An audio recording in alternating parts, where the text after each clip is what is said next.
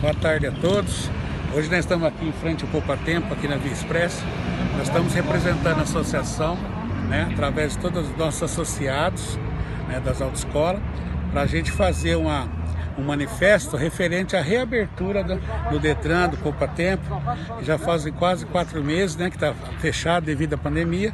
Então eu estou representando aqui a associação. Hoje a nossa amiga aqui, a Mara, é a nossa nova presidente da associação, eleita esse ano, esse mês né, Mara? Nós viemos aqui com todos os associados, nós somos em mais de 17 autoescolas né, trabalhando e o povo, a população merece mais atenção, carinho perante o Detran, perante o governo, né?